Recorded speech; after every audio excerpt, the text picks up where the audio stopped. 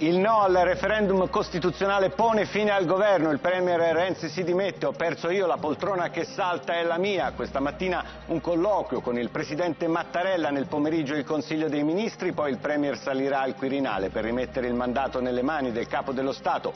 Il PD intanto si prepara alla resa dei conti, fissata per domani la direzione del partito. La minoranza Dem attacca, il risultato dimostra che eravamo nel giusto, ora anticipiamo il congresso. L'attenzione adesso si sposta sulle scelte del presidente Mattarella. Se Renzi considererà le sue dimissioni irrevocabili, il capo dello Stato avvierà le consultazioni con i gruppi parlamentari per individuare un presidente del Consiglio che abbia la maggior condivisione possibile.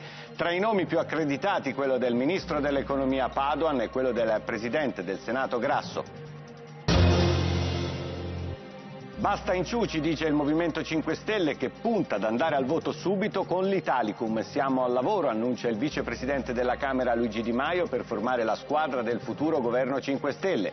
E Grillo si appella direttamente a Mattarella. Noi siamo disponibili a tutti i passi per le elezioni. Il centrodestra esulta ma si divide sui tempi delle elezioni. Salvini e Meloni chiedono di andare alle urne.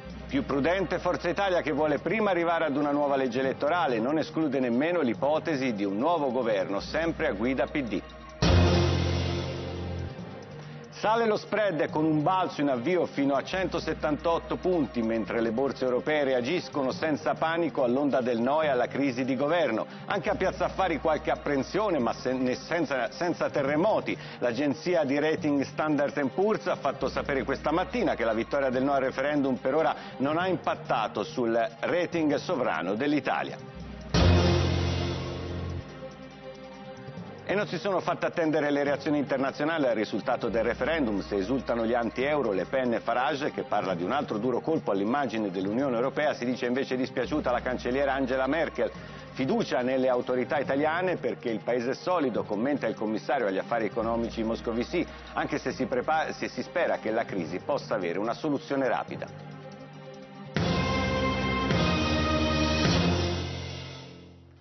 Buongiorno dal telegiornale della 7, dunque come sapete dopo la schiacciante vittoria del no al referendum costituzionale, le annunciate dimissioni del Premier Matteo Renzi che questa mattina ha incontrato il Presidente della Repubblica Mattarella per un colloquio eh, di circa un'ora, nel pomeriggio eh, terrà un Consiglio dei Ministri, subito dopo si recherà al Colle per rimettere il suo mandato nelle mani del eh, Capo dello Stato. Poi per Renzi c'è lo scenario interno al eh, PD con la minoranza Dem schierata per il no che adesso eh, vuole riappropriarsi del partito. Ho perso io, la poltrona che salta è la mia, ha detto a Caldo Renzi, noi ripartiamo da qui.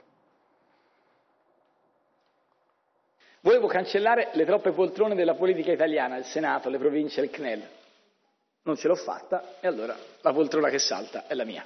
Già nella notte al telefono con Mattarella, stamattina un colloquio con il presidente in Quirinale, nel pomeriggio al colle per le dimissioni ufficiali. La crisi è aperta quando lo spoglio elettorale è appena iniziato. Poco dopo mezzanotte Renzi parla a Palazzo Chigi. L'affluenza è da elezioni politiche, il 68,8%. Non serve aspettare i dati finali. Bastano gli exit poll per disegnare un quadro che con il passare delle ore sarà confermato in peggio. 59,1% per il no, 48% per il il sì, una debacle. Il Premier, che nelle ultime battute di campagna elettorale aveva sperato nella rimonta, prende atto, consapevole che la bocciatura è per lui. Dopo ogni elezione resta tutto com'è. Io sono diverso, lascio. Ho perso io e non voi, dice ai supporter del sì. Ci ho creduto, ho lasciato un paese migliore di come l'ho trovato. Non pensavo mi odiassero così, lo sfogo dietro le quinte.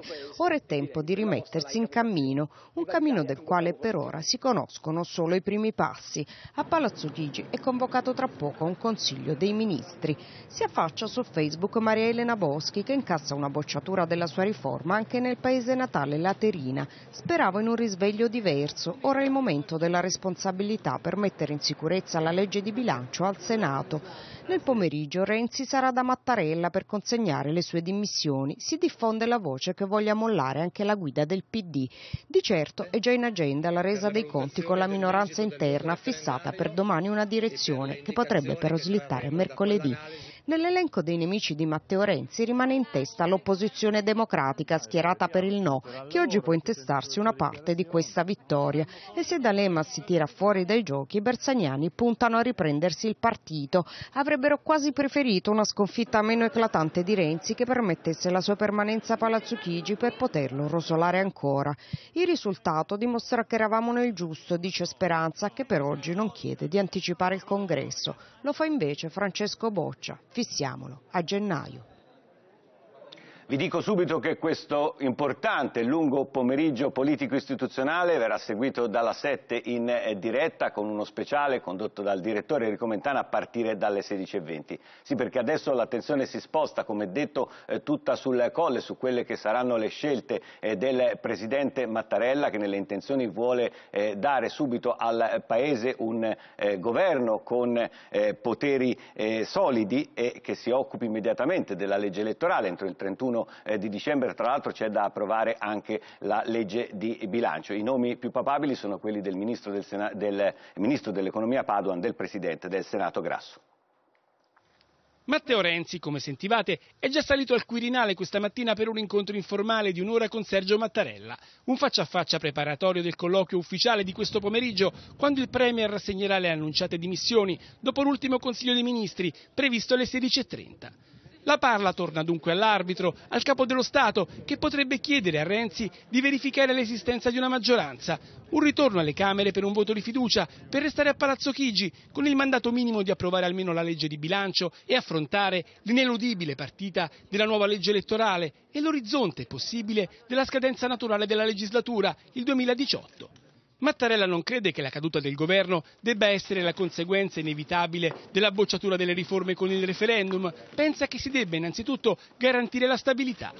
Se Renzi considererà però le sue dimissioni irrevocabili, Mattarella non potrà che aprire formalmente la crisi di governo e procedere con le consultazioni, secondo la prassi consolidata. Sentirà il suo predecessore Giorgio Napolitano, i presidenti delle Camere, Laura Boldrini e Piero Grasso, i gruppi parlamentari e i partiti tempi rapidi, l'imperativo del Colle è dare al Paese al più presto un governo con pieni poteri. Governo che deve avere il sostegno del PD, che alla Camera ha la maggioranza. L'opzione del ritorno immediato alle urne non c'è, deve essere riscritta la legge elettorale. Quella vigente, l'Italicum, è collegata alla riforma bocciata ed è valida solo per la Camera e a gennaio la Corte Costituzionale si pronuncerà sulla sua legittimità. Potrebbe mettere dei paletti, il perimetro per un accordo tra le forze politiche. Tre le tipologie di governo possibili, con diversi profili di Premier. Un governo tecnico, come altre volte è accaduto nella storia di questo Paese, in situazioni di emergenza, con una figura di alto profilo, ricorre il nome del Presidente della BCE Mario Draghi, e una maggioranza più ampia di quella attuale, che coinvolga almeno una parte del centrodestra, che per ora si dice indisponibile. La seconda ipotesi è quella di un governo di scopo, per approvare la legge di bilancio e realizzare la nuova legge elettorale con una guida istituzionale. Il Premier potrebbe essere il Presidente del Senato Piero Grasso. Anche in questo caso la maggioranza parlamentare dovrebbe essere più ampia dell'attuale. La terza soluzione è quella di un governo politico guidato da una personalità vicina e gradita al Premier per arrivare a fine legislatura, con il sostegno delle forze che hanno sostenuto il governo Renzi. I nomi più gettonati sono quelli dei ministri Graziano Del Rio e Piercarlo Padoan. E poi ci sono i vincitori, su tutti i 5 Stelle che registrano questa schiacciante vittoria, intenzionati a capitalizzare subito l'esito di questo eh, voto referendario, pertanto eh, Beppe Grillo chiede elezioni immediate, ribadisce di non essere eh, disponibile a trattare per eh, governi di scopo o eh, tecnici. Nei 5 Stelle poi in rete è partita eh, la discussione interna su quella che sarà la scelta del programma e il futuro leader Premier.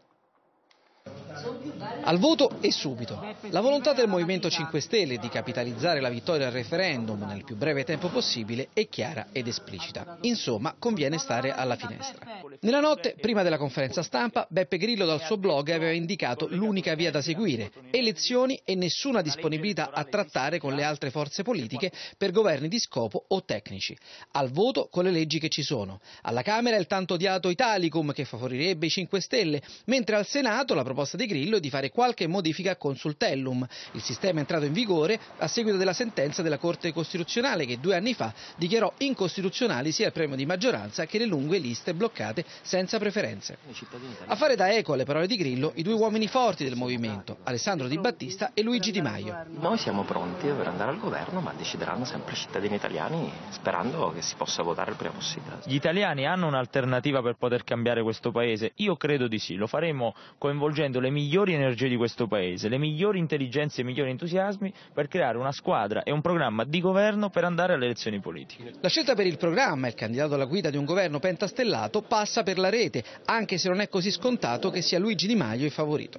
Le polemiche sul caso Roma potrebbero portare la parte più ortodossa del movimento, capeggiata da Roberto Fico, Carla Ruocco e Roberta Lombardi, a puntare su un outsider, magari Chiara Appendino, stimata da Beppe Grillo e da Davide Casaleggio. Il pallino è in mano a Grillo che da statuto dovrà indicare le date e le modalità delle elezioni online e Genova, la sua Genova, dove si voterà l'anno prossimo, potrebbe essere il laboratorio per testare un nuovo metodo per far votare gli iscritti. Liste contrapposte tra aspiranti consiglieri e aspiranti primi cittadini, con i primi che dovranno scegliere quale candidato sindaco sostenere. Passano i vincenti e i perdenti restano a casa. Questo significherebbe sfidare apertamente Luigi Di Maio e sarebbe match a viso aperto da lascio raddoppia. Ad ora difficile immaginarlo e soprattutto vincerlo. Adesso le agenzie stanno eh, battendo delle dichiarazioni eh, che riguardano il Presidente della Repubblica Mattarella che ha detto affluenza eh, di ieri al eh, referendum testimonia di una democrazia eh, solida, sempre Mattarella parla eh, di clima politico sereno e rispettoso ma dice anche che adesso ci sono delle scadenze da rispettare, adesso le istituzioni rispettino dunque gli impegni presi. dicevamo dello scenario all'interno dei 5 Stelle Stelle ancora più complesso quello all'interno del centrodestra che vive eh, di più anime con eh, Matteo Salvini, leader eh, della Lega, che come Grillo chiede di andare immediatamente al voto, con lui anche eh, Giorgia Meloni, dall'altra parte eh, però eh, c'è Silvio Berlusconi che in attesa del giudizio dell'Alta Corte di Strasburgo sicuramente non è d'accordo col leader della Lega sull'andare per esempio alle primarie all'interno del centrodestra. Vediamo. Il centrodestra ha vinto il referendum, ma adesso, spodestato Renzi, comincia il lavoro più complicato, quello di mettersi d'accordo su cosa fare. Salvini ha ricevuto ieri sera 122 chiamate, tutte senza risposta, ma fra queste non c'era quella di Silvio Berlusconi. Prima o poi si sentiranno, ma per dirsi cosa non è ancora chiaro, perché il segretario della Lega vuole votare subito, con qualsiasi legge elettorale. Ci sconcerta il Toto Premier di queste ore, quindi non ci uniamo né ci uniremo al toto nomine, al casting eh, Padoan, Del Rio, Franceschini, Grasso, se quando il Presidente Mattarella ci convocherà noi ribadiremo alle elezioni subito, il prima possibile, con qualunque legge elettorale la consulta consegnerà al Paese, mentre Berlusconi vorrebbe fare una legge elettorale proporzionale, fumo negli occhi per Salvini e soprattutto difficilmente potrà accettare la proposta dell'alleato leghista di scegliere il candidato del centrodestra con le primarie. Le facciamo anche a gennaio col freddo, dice il segretario della Lega. Il capo di Forza Italia spera ancora di tornare in campo da leader grazie alla Corte europea di Strasburgo. E poi non ha tutta questa fretta di andare a votare come faceva capire ieri a caldo Brunetta. Eh, Salvini è bravissimo, eh, la legge elettorale ovviamente deve essere fatta perché l'Italicum è morto, la, la maggioranza c'è, eh, il PD ha i numeri per fare maggioranza in Parlamento, noi ovviamente in Parlamento fare, daremo il nostro contributo per la legge elettorale, eh, dipende da quanto tempo ci mettiamo a fare la legge elettorale. Si può votare in primavera eh, 2017, si può votare in autunno 2017, si può votare a febbraio, scadenza naturale 2018, non è un problema. Più facile per Salvini sarà trovare un accordo con Giorgia Meloni che anticipa quello che dirà a Mattarella alle consultazioni. Vogliamo votare subito. L'altra questione è NCD. Non rovinatemi il lunedì, dice il segretario leghista, ma anche di questo dovrà discutere con Berlusconi. Andiamo adesso ad analizzare il voto, a leggere eh, quello che è stato il voto eh, degli italiani. La vittoria eh, del no, certo con, che parte dall'altissima affluenza, percentuale altissima, quella dell'affluenza per una valanga di no, eh, favoriti appunto da questa affluenza che è arrivata soprattutto dal sud e dalle isole, il record spetta alla Sardegna col 72,2% di no, mentre il sì si è affermato in eh, Toscana, Emilia Romagna e Trentino, oltre che nel voto degli italiani all'estero. L'auspicata alta affluenza alle urne, che nei giorni antecedenti il voto si diceva avrebbe portato vento positivo a sostegno della riforma costituzionale, alla fine ha superato sì ogni previsione. Il 65,47% di elettori si è recato alle urne, ma allo stesso tempo ha polverizzato ogni pronostico. Il no ha battuto il sì con il 59,11% contro il 40,89%.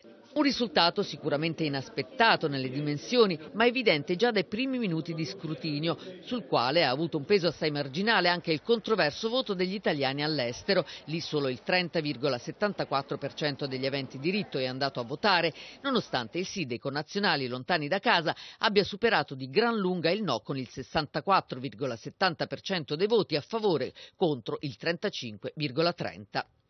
In Italia invece l'affluenza è stata altissima, pari al 68,48% degli aventi diritto al voto, a parte tre regioni, Trentino, Alto Adige, Emilia Romagna e Toscana, dove i sì, seppur di poco, hanno superato i no, la debacle per il referendum costituzionale e per il governo è stata totale. Soprattutto nelle isole e al sud è arrivata una valanga di no, i margini più ampi in Sardegna, Sicilia, Campania, Puglia e Calabria. Seguono a ruota Basilicata, Abruzzo, Lazio, Veneto, Friuli, Venezia Giulia, Molise e Liguria, dove la vittoria del no si attesta comunque oltre il 60%. In Valle d'Aosta, Piemonte, Lombardia, Marche, Umbria il margine si riduce, con il no che supera il sì di pochi numeri percentuali. Gli analisti, vediamo quello che è il risultato del voto italiano eh, sui mercati, sulle borse, gli analisti sembrano concordare, dunque l'Italia eh, va avanti anche dopo il referendum, certo ad aumentare eh, è la volatilità, le banche restano sotto osservazione. Eh, di fatto eh, il contraccolpo eh, c'è stato, forte addirittura per quanto riguarda il mercato valutario, a spese dell'euro, forte, più forte di quello registrato per la Brexit nelle ore immediatamente successive all'uscita della Gran Bretagna, ma poi non c'è stato panico sui mercati, è tutto rientrato nella norma, anche Milano eh, che era partita in rosso ha girato addirittura in positivo, eh, poco fa perdeva eh, circa eh, mezzo punto. Lo spread, lo spread poco mosso, dopo un eh, balzo in rialzo fino a 178 punti è rientrato sui 169 punti base senza panico e senza grandi sussulti. Il lunedì post-referendario di Piazza Affari è cominciato così e in questo modo sembra che possa proseguire, entrando e uscendo dal territorio positivo, di fatto senza allontanarsi mai da una sostanziale parità. Qualche apprensione solo in apertura quando l'indice era sceso quasi di due punti percentuali, mezz'ora dopo però era già sopra la linea di galleggiamento. Anche per lo spread c'è stato un balzo iniziale che lo aveva portato a 178 punti, poco dopo però è tornato a stazionare sui valori degli ultimi giorni sotto i 170 punti. Insomma, a metà giornata il tanto temuto effetto tsunami sui mercati a seguito della vittoria del no e delle conseguenti dimissioni del Presidente del Consiglio non c'è stato e già dal mondo finanziario, dagli stessi analisti che si erano detti molto preoccupati per la tenuta delle borse in caso di instabilità politica in Italia, è arrivata una correzione di rotta. Così Standard Poor's ha fatto sapere questa mattina che la vittoria del no al referendum sulla riforma costituzionale per ora non ha impatto sul rating sovrano dell'Italia. Certo, hanno spiegato gli analisti dell'agenzia di rating americana, dal punto di vista della prospettiva, della stabilità politica e dell'efficacia, la riforma avrebbe comportato dei benefici. Tuttavia il risultato del referendum non ha un impatto immediato sul merito di credito dell'Italia, in quanto non ha ricadute per le politiche economiche o di bilancio dell'Italia se non i probabili cambiamenti di breve termine nella politica italiana. Anche gli altri analisti sembrano concordi oggi sul fatto che l'esito del referendum non possa frenare le politiche economiche dell'Italia. Il problema resta ancora quello legato alle sofferenze del settore bancario e in particolare al tentativo in atto di mantenere in vita Montepaschi. Oggi gli advisor Mediobanca e JP Morgan faranno il punto per valutare l'effetto voto sull'operazione di salvataggio che ha avuto come grande sponsor proprio il governo Renzi. Intanto il titolo MPS in borsa viaggia senza grandi sussulti e anche questa è una buona notizia. E poi c'è l'Europa, la sua eh, reazione, c'è da dire intanto che il ministro dell'economia Padoan ha annullato oggi il eh, suo viaggio, non parteciperà all'Eurogruppo, a esultare è la Le Pen, l'euroscettico eh, Farage che parla di martellata all'Europa chiedendo a Bruxelles subito elezioni, c'è da dire che invece il commissario agli affari economici Moscovici parla di Europa toccata dall'esito del voto ma fiducia nelle autorità italiane perché il il eh, paese è solido, qualche preoccupazione invece arriva dalla eh, Germania che sollecita di proseguire nella strada delle riforme. Nervi saldi ma senza sottovalutare la portata e le possibili conseguenze anche a livello comunitario della vittoria del no al referendum. L'Europa si sveglia non sotto shock ma con qualche preoccupazione in più. Con Matteo Renzi dimissionario e un'assenza pesante all'Eurogruppo che si è aperto questa mattina a Bruxelles, quella del ministro dell'economia Padoan che sarebbe dovuto andare a spiegare come il governo italiano intende aggiustare la manovra economica 2017 e centrare così gli obiettivi fissati dal patto di stabilità. Il ministro manda un sostituto ma non è la stessa cosa. Dopo la Brexit e la vittoria di Trump alle elezioni americane, per l'Unione la sconfitta di Renzi non è una buona notizia proprio ora che a Bruxelles tiravano il fiato per la vittoria in Austria di Van der Bellen, che aveva scacciato lo spettro populista incarnato dall'uomo dell'ultradestra, lo sconfitto Norbert Hofer. Berlino oggi non nasconde qualche preoccupazione. Al messaggio della cancelliera tedesca Angela Merkel, dispiaciuta per le dimissioni di Renzi, segue l'invito del suo governo, per bocca del ministro delle finanze Schäuble, affinché le riforme avviate tre anni fa da Renzi vadano avanti. E poi un chiarimento per sgomberare il campo da possibili speculazioni. Non c'è alcuna ragione per parlare di eurocrisi, dice Schäuble. Insomma, il timore che il voto italiano possa soffiare sul vento anti-europeista è concreto. Non a caso sia la Le Pen in Francia Francia sia uno dei grandi sponsor della Brexit come Farage festeggiano quello che definiscono all'unisono un voto contro l'Europa e le sue istituzioni. A Bruxelles invece si prova a fare fronte comune. Siamo rimasti tutti colpiti dal risultato del referendum in Italia, dice al suo arrivo all'Eurogruppo il commissario agli affari economici Moscovici. Renzi aggiunge è stato un buon primo ministro e ha fatto riforme importanti. L'Italia è un paese solido e saprà cosa fare. Fiducia anche nelle parole del presidente dell'Eurogruppo, Dijsselbloem, ma con un avvertimento. Il voto non cambia la situazione economica delle banche italiane, i problemi di oggi sono quelli di ieri, ma l'Italia è una democrazia forte con delle istituzioni forti. Un invito chiaro ad andare avanti o l'Europa è pronta a tirare fuori di nuovo il cartellino rosso. Ma a preoccupare i mercati internazionali ci sono anche i tweet del eh, presidente neoeletto degli Stati Uniti eh, Donald Trump, tweet eh, che hanno mandato su tutte le furie i vertici eh, politici eh, cinesi e dopo la telefonata con il presidente di Taiwan adesso si temono anche pesanti ripercussioni. Trump non lascia, anzi raddoppia, e con due tweet replica la Cina, che aveva criticato la sua telefonata volutamente irrituale alla Presidente di Taiwan. Il Tycoon questa volta attacca sui dazi, la politica monetaria e le spese militari del gigante asiatico.